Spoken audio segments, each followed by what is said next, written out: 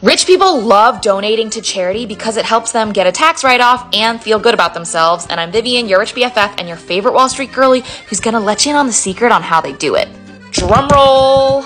They use art. Yes, art. Let's pretend you're an Upper East Side rich mom who spends her time sitting on a philanthropic board, you love Central Park walks with your nanny, and you visit many art galleries in your ample free time. You would buy a painting for $1,000. Bonus points if your friend was the artist. And since you're quite well connected in the art world, you would have that piece of art reappraised a few years down the line. By a professional appraiser, but again, bonus points if they just so happen to be your friend. And suddenly, the value of this piece of art is no longer $1,000, it's $10,000. Art's considered an investment because it can go up or down in value, but that value is largely based on subjective opinion.